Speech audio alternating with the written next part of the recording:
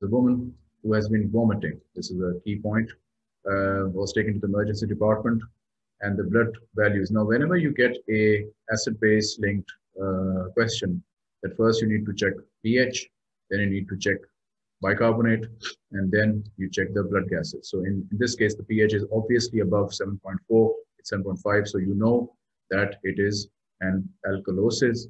Now, which kind of alkalosis is, is it? The bicarbonate is 24 mmH um, milliequivalents per liter.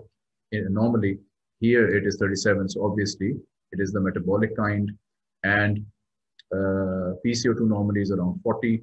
This is 48, so obviously carbon dioxide is being is being retained uh, so that it compensates for the alkalosis that is happening. So it is uh, a person is having metabolic alkalosis with respiratory compensation.